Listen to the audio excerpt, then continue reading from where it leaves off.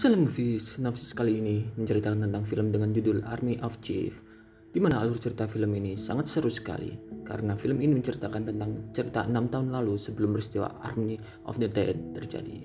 Dalam film Army of Chief ini akan dikisahkan Sebastian atau yang dikenal dengan Ludwig Dieter yang merupakan seorang kasir bank dan ia mampu membobol kombinasi sistem keamanan sebuah brankas. Kalau gitu langsung aja kita lihat alur ceritanya kawan movies.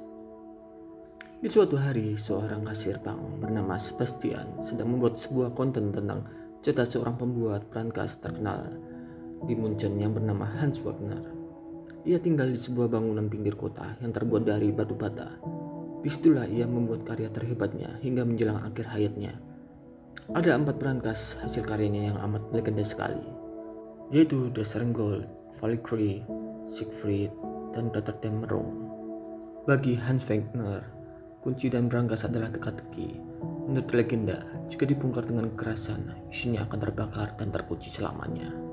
Lalu dia menciptakan brankas untuk mengubur dirinya sendiri. Orang mencoba membebaskannya dari makam yang dibuatnya sendiri. Karyanya sangat murni sehingga tidak mampu menyelamatkannya.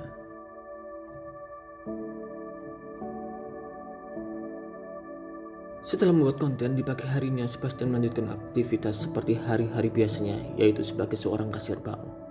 Ketika beristirahat, ia mendapatkan pesan di kolom komentar aplikasi YouTube yang menyuruhnya untuk hadir ke sebuah pertandingan di rumah ujung jalan Berlin.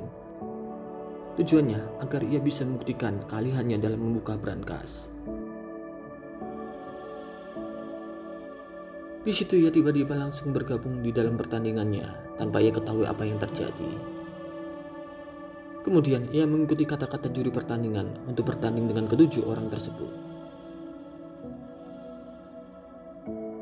Dan akhirnya Sebastian pun melanggang dengan mudahnya hingga ke babak final dan berhasil memenangkan pertandingan tersebut. Di keesokan harinya, Sebastian pun mulai melanjutkan aktivitasnya dengan pergi ke sebuah kafe untuk sarapan pagi. Tiba-tiba ia kaget karena melihat gadis yang tidak pernah ia kenal menyapanya. Gadis itu pun mengajak Sebastian untuk mengobrol sebuah pekerjaan yang sesuai dengan keahliannya. Itu pun juga mengaku bahwa dirinya lah satu-satunya penonton YouTube Sebastian dan memberi komentar untuk menyuruh Sebastian hadir dalam pertandingan ahli brankas. Di situlah gadis itu melihat keahlian yang dimiliki Sebastian dan mulai mengajak Sebastian untuk bergabung dalam timnya dalam mencari dan mencuri brankas milik sang legendaris Hans Wagner. Sebastian pun sangat senang sekali bisa mengetahui berita bahwa brankas sang legendaris tersebut dapat ditemukan. Tetapi Sebastian menolaknya karena dirinya merasa bukan seorang kriminal Lalu gadis itu pun memberinya kartu nama jika Sebastian mulai berubah pikiran. Keesokan harinya, Sebastian pun pergi ke rumah gadis itu dan dia disambut dengan baik. Lalu gadis itu memperkenalkannya dirinya berserta timnya yang terdiri dari empat orang. Corina seorang peretas komputer, Rob seorang sopir yang ulung, Brad Cake seorang petarung, dan gadis itu sendiri bernama Gwen. Kemudian mereka berlima berdiskusi untuk merencanakan aksi pertama mereka.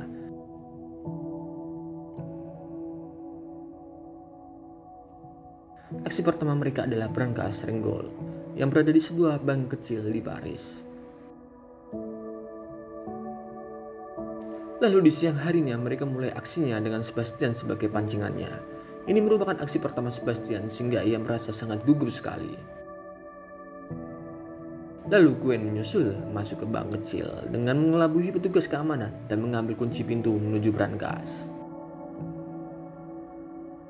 Dengan penjagaan yang tidak ketat, mereka berhasil menuju ke brankas Renggol dan Sebastian pun memulai membuka kombinasi sistem keamanan brankas tersebut. Tidak lama kemudian brankas itu pun terbuka dan mereka pun langsung memasukkan sejumlah uang ke dalam tas besar yang dibawanya. Lalu mereka pun pergi meninggalkan bank tersebut dengan kegembiraan yang sangat meluap-luap. Perampokan kelompok Sebastian tersebut berhasil diidentifikasi oleh polisi Interpol yang dipimpin oleh seorang komandan yang mempunyai perasaan dendam kepada Brad Cake yang merupakan salah satu anggota kelompok Sebastian tersebut. Di tempat yang lain, Sebastian dan kawan-kawannya merayakan pesta keberhasilan mereka dan selanjutnya juga merencanakan aksi selanjutnya. Kemudian esoknya mereka menuju ke kota Praha, Republik Ceko untuk mencuri brankas yang kedua yang bernama Valkyrie dengan Sebastian sebagai pancingan utama kembali menuju bank tersebut. lalu disusul oleh Gwen.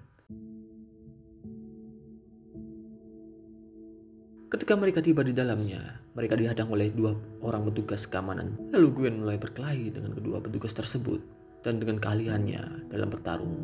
Akhirnya Gwen berhasil mengalahkan kedua petugas keamanan. Sebastian dan Gwen sangat terkagum-kagum dengan berangkas yang mereka temukan. Karena berangkas Valikri merupakan berangkas yang sangat penuh cerita dan mencengangkan. Saat itu juga Sebastian mulai membuka berangkas tersebut dengan penuh perlahan-lahan. Tiba-tiba, aksi mereka diketahui oleh petugas penjaga kamera keamanan. Di situ mereka melihat Sebastian memasuki ruangan tanpa menggunakan kunci pintu baja.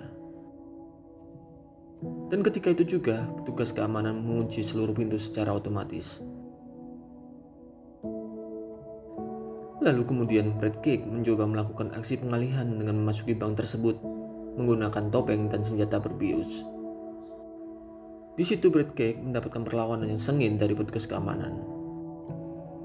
Sebastian dan Gwen berhasil membuka brankas dan kemudian bergegas memasukkan uang ke dalam tas dan langsung meninggalkan ruangan brankas tersebut. Di sisi lain, Brad Cake juga ikut melarikan diri, tetapi ia dihantam oleh salah satu petugas bank. Dan kemudian petugas itu menembaknya di bagian bahu kirinya. Di saat mereka melarikan diri, Sebastian terlempar dari mobil van yang mereka tumpangi dan Sebastian pun tinggal oleh kelompoknya.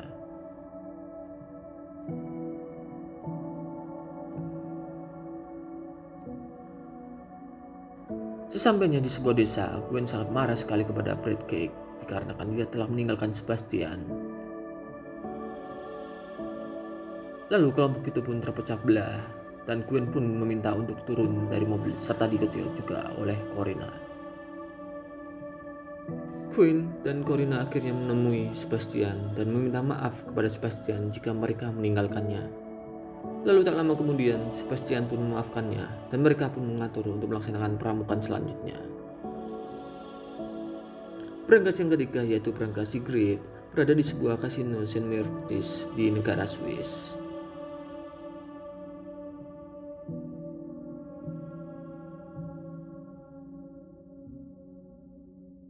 Berangkas itu direncanakan akan dialihkan ke tempat lain dan kemudian kelompok Sebastian mulai merampok dan mengambil alih truk yang mengantar berangkas tersebut.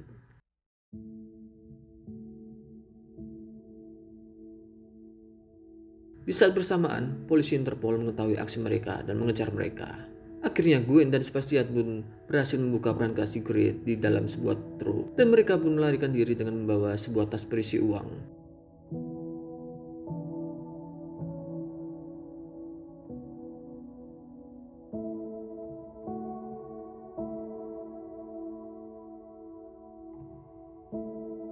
Di ujung sebuah dermaga, mereka berdua dicegah oleh seorang polisi Interpol.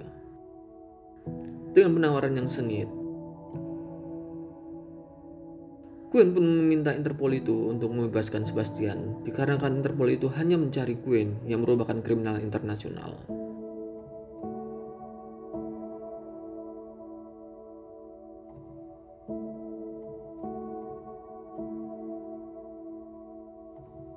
Demikian sinopsis jalannya cerita film Army of Chief. Semoga cerita ini dapat menjadikan diri kita lebih berarti untuk melakukan pengembangan diri sesuai dengan keahlian kita. Salam sehat selalu untuk kita semuanya. Salam movies. Sampai jumpa lagi di sinopsis-sinopsis selanjutnya. Jangan lupa untuk like dan subscribe.